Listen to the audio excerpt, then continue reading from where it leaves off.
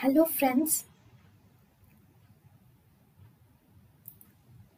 Welcome to Creative Medicine. In this lecture, we will learn about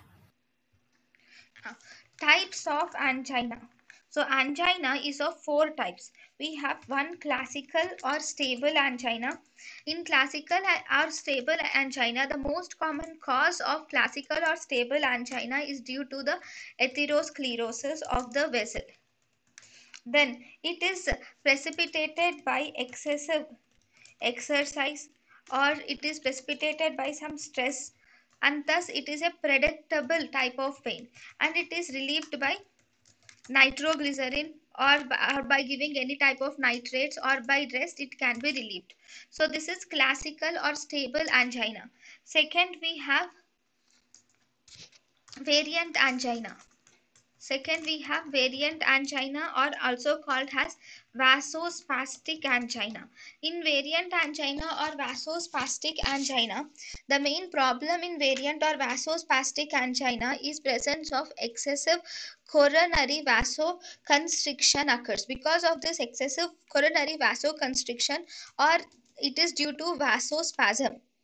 So because it is due to vasospasm, it is an unpredictable type of pain which is seen in variant angina or vasospastic angina. It can also occur at rest also.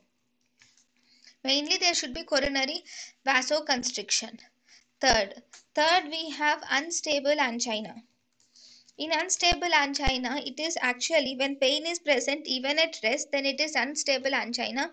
It can be due to thrombin aggregation or uh, platelet aggregation. So, because of this, here the patient has rapid pain or severe pain is present and it is not relieved on rest.